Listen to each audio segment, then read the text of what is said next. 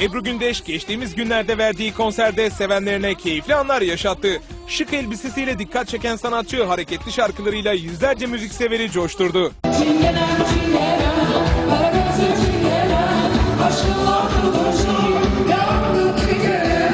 Konser öncesi basın mensuplarının karşısına geçen Ebru Hanım sahne kıyafetlerinin yardım amaçlı satılmasından bahsediyor. Üzerindeki kostümün açılış fiyatını ise gazetecilerin belirlemesini istiyor. Ortaya da şu ilginç diyalog çıkıyor. Buyurun basın belirlesin bakalım fiyatını. Ben bir tane elbiseyi de onların... ah, ah, ah, ah. Tabii çok teşekkür ederim. Bak ne kadar değer veriyor bana ki e, 150 milyar. Hadi bırak çocuk onu söyledikten sonra.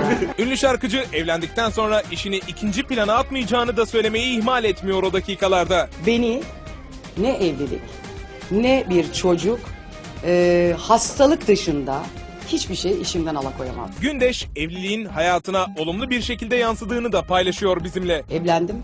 Çok mutluyum. Her şey yolunda. Sizlerin de bu mutluluğuma mutluluk katacağınıza eminim. Peki niye eşinizle birlikte sizi yan yana göremiyoruz diye soruyor basın mensupları. Ebru Hanım'ın yanıtı çok net. kendisi çıkmaktan çok fazla hoşlanmıyor. Yani gelip sizin önünüze hani böyle görüntü vermek isteyecek bir yapısı yok.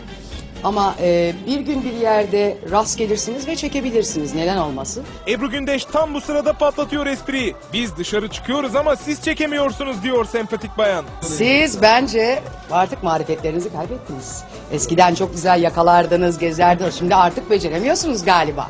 Son olarak hamile olduğu şeklinde çıkan iddiaları da soruyoruz sevilen şarkıcıya. Bakalım nasıl bir yanıt almışız. Hamile değilim. Ee, nasıl evleneceğimi size benim ben açıklayacağım demiştim ve açıkladım. Bir gün hamile olursam bu mutlu haberi de size ben bildiririm arkadaşlar. Ama şu anda hamile değilim. Düşünüyor musunuz peki Zaman zaman.